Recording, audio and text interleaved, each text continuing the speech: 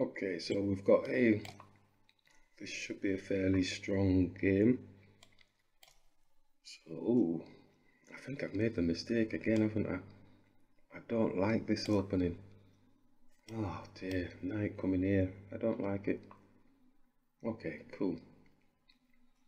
So we could take the pawn, but then his rook comes across and then he's got a two on one here. So we're just going to play it simple and bring the bishop through nice and steady and castling.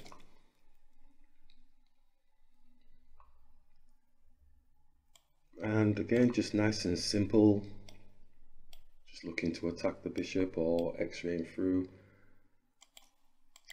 And I'm still gonna, I'm gonna continue with this move. Yes, x-ray through. Seeing as they've taken the space for me attacking the bishop. Uh, that's an interesting one. I could drop, hits me again, then I'm allowing their pawn to get to my knight. So I'm going to bring the bishop back now.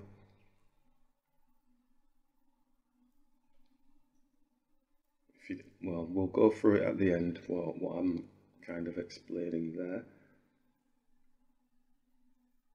Because if we'd have come here, the pawn drops down, then we come here, then it's going to start making inroads towards our knight and then our knight has to move. Obviously we can take you know and then the pawn can take the knight can move etc but we wanted to manage our squares our way. And simple capture at the minute. So this is all kind of straightforward. It's going to be wanting to hit the head of the snake. Smaller piece attacking the higher piece can't be wrong. So the rook the knight is doing a nice job. Going to just bring the queen back I think maybe touch onto the knight because the knight's saying now well what am I actually doing here after I've attacked this? So oh they're looking for the queen coming here here and attacking here type situation. So if we hit the knight first and say well where are you actually going? Because you can't go here your queen's blocked your way there. You can come here but you get taken. You can go here but you get taken. So if we take the knight uh, either the queen takes but where does it go from there? So I think we've won a minor piece from that position. Still playing a bit quick. Um, duh, duh, duh. so the knight could come here move the queen off of the line because we are going to get hit with this. So maybe move the king off the line. But if we move the king off the line the queen just comes here and puts a check on so if the queen comes and puts a check on, the knight can't move to defend, so the queen king is going to have to move back again. Okay, so this probably isn't as bad as what I'm thinking. So maybe we need to just chill and just do the move. If we move, queen comes here with a check king moves back. There's no checkmate that I can see. Maybe the bishop then takes, queen takes, pawn takes, but then we're still up a minor piece. Is there anything else that the bishop can do? So it comes there. Does the bishop still go here? Ooh, the bishop still goes there. Well, no, because we can take.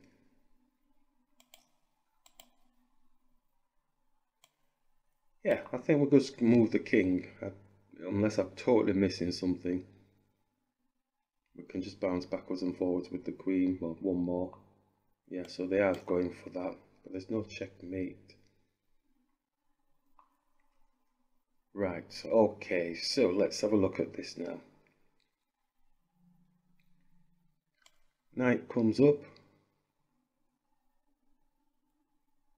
Or do we take the pawn? Gets his rook involved into this situation.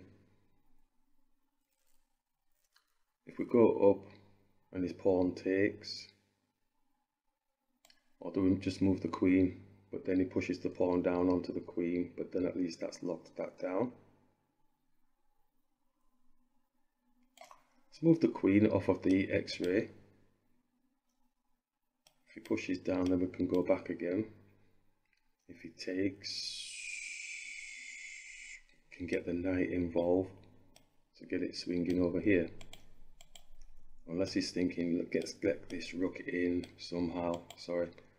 Get this rook down here, facing off the king. So then can't take with the pawn. What do we do then? Hmm, get the knight up, but then he still gets here. But if he goes there, then we've got fork and we get the rook.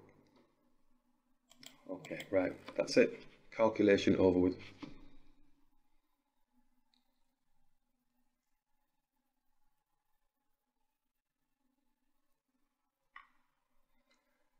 So it does take, and we said we were going to look to see whether or not we get the knight involved, but just on thinking now.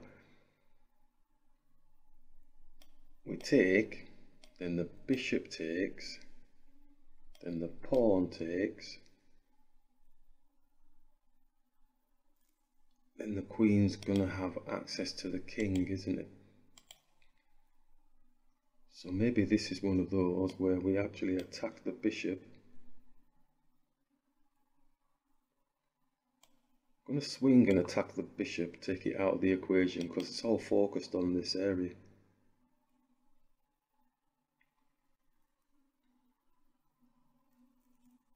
Materially, we're still plus one, but it's not about the material here, it's about the position on the board because the opponent's wanting to squish our king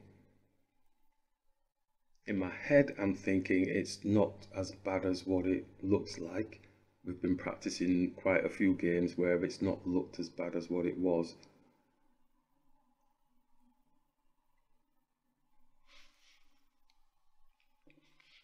Because they have a lot of potential coming towards our king. And we're trying to make give our king some company with our pieces. So his move, so the queen could take the pawn attacking the queen. What magic has he got? The rook gets involved and blocks it, or the bishop comes and attacks the queen. Yeah, I think the bishop's going to come and attack the queen, isn't it? We can put a check on the king. Let's see if we can do that. Also got a 2 on 1 on the bishop as well, but they're going to move the bishop here. Don't really like doing nugatory checks. I mean, we do have the pawn here, but that's like pawn grabbing, and I don't think it improves my position at all. Oh, they've taken. Right, take with the knight to give my king some company.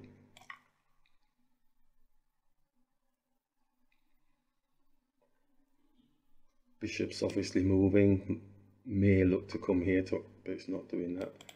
Um, so it's going to. The rook is in the center of the board. So we take the bishop. The rook is in the center of the board, so we can attack it. Be looking how somehow getting this in across around. We have time to uh, mobilize, move, well not that, sorry, move this. Do we need to panic so much about that? I mean, he's going to have to do a merry dance. Is there anything better? Attacking the pawn.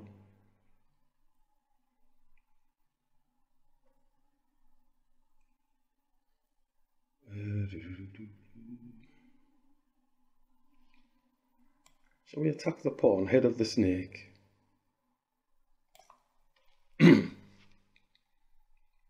just trying to give them something to think about. I mean, the rook can come and uh, defend, but we'll take an exchange off because we have more material. So the logic dictates that, well, you may as well get them off the board.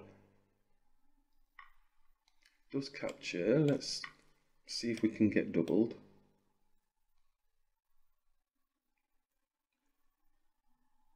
Again, we've got here fairly quickly in terms of a long play game. Um, I've not even broke the 45 minute mark, neither have they. They're on 46 minutes, so they've accrued time.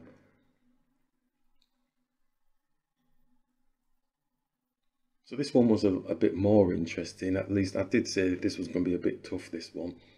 And they proved that point quite nicely. So we could take reducing down with a check and get a check on again. Still off the box clever. He's got two linked pawns here, so if that was me, I'd be going, oh well, they're tantamount to having like a, a rook, you know, an extra rook. Okay, so it's got to be something to do with this knight. I don't feel like pushing these pawns. Must try and get this rook off the board somehow, maybe, somehow. Dance there, but he's just going to drop the pawn, so I'm going to go here. If he drops the pawn, come back around again, come up here, type thing.